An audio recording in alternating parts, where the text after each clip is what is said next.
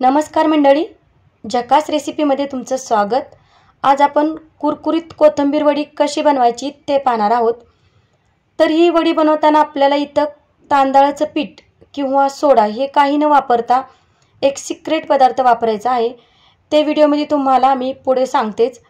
ज्यामुळे आपली वडी एकदम कुरकुरीत होईल. चला तर मग मी रेसिपीला सुरुवात करते. तर इथं मी एक गड्डी कोथिंबीर घेतलेली आहे. तर आपल्याला कोथिंबीर वडी बनवण्यासाठी फक्त कोथिंबीरची पाने घ्यायची आहेत. देटा अजिबात घ्यायची नाही. त्याचबरोबर आपल्याला कोथिंबीर निवडून घ्यायची आहे.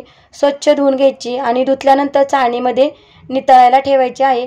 त्यानंतर एका सुती कपड्यावर सुकायला ठेवायची. नंतरच कोथिंबीर निवडून घ्यायची आहे.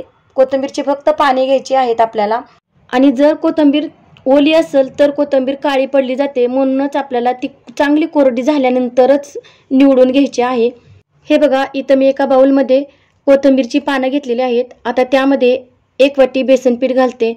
आणि जर तुमची कोथिंबीर ओली असेल तर तुम्हाला यामध्ये बेसनपीठ थोडं जास्त लागू शकते. आता यानंतर आपल्याला घालायचा आहे आपला सिक्रेट पदार्थ. तो म्हणजे आपण कांदे पोहे खातो ना ते पोहे मी गरम करून घेतले आणि नंतर मिक्सरवर त्याची भरट तयार करून घेतलेली आहे. तर ती भरट मी अर्धी वाटी घेतलेली आहे.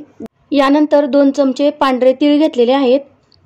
आता आपल्याला यामध्ये वाटण घालायचं आहे.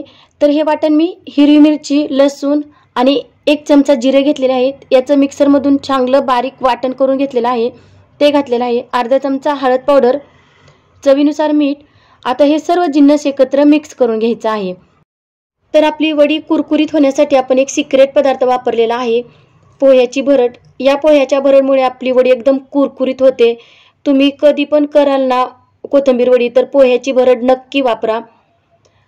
आता व्यवस्थित मिक्स करून झालेलं आहे. यानंतर मी अगदी थोडं थोडं पाणी घालून हे पीठ मळून घेत आहे.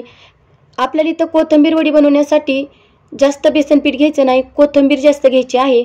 आणि जर तुमची कोथिंबीर ओली असेल तर तुम्ही इथं थोडं बेसन पीठ घेतलं तरीही चालेल.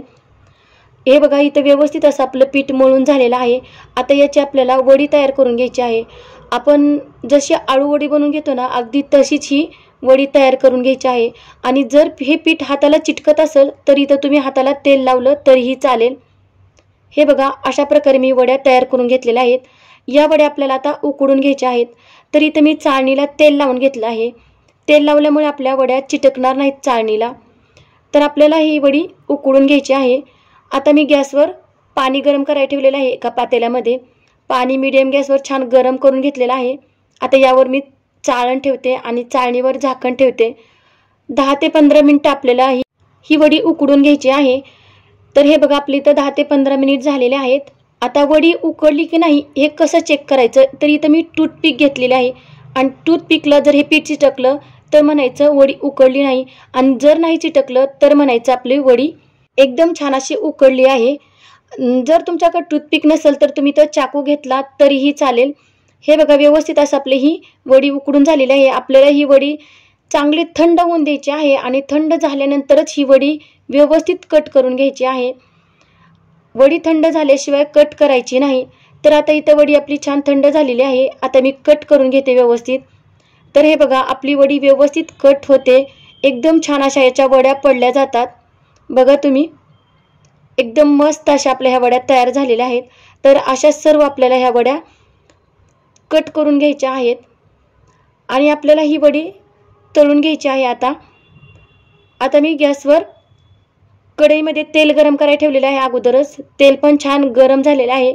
आणि आपल्या गॅसची फ्लेम आपल्याला इथं मीडियम ठेवायची आहे. आणि मीडियम गॅसवर आपल्याला ही वडी तळून घ्यायची आहे. फुल गॅसवर वडी तळायची नाही. फुल गॅसवर वडी तळल्यानंतर आपली वडी इथं कुरकुरीत होणार नाही. तर इथं वडी तर तळली जाते पण वडी कुरकुरीत होणार नाही. तर आपण इथं वडी कुरकुरीत होण्यासाठी तांदळाचं पीठ किंवा सोडा वापरला नाही. आपली वडी कुरकुरीत होण्यासाठी आपण इथं पोह्याची भरड वापरलेली आहे. जेणेकरून ह्या वडीमध्ये अजिबात तेलकटपणा राहत नाही. आपल्या वडी अजिबात तेलकट होत नाही. हे बघा इथं अशा प्रकारे वडी तळून झालेली आहे. आणि अजून एकदा तुम्हाला मी वडी तळून दाखवते. अगदी पहिली जशी वडी तळली तशीच मीडियम गॅसवर आपल्याला ही छान व्यवस्थित तळून घ्यायची आहे.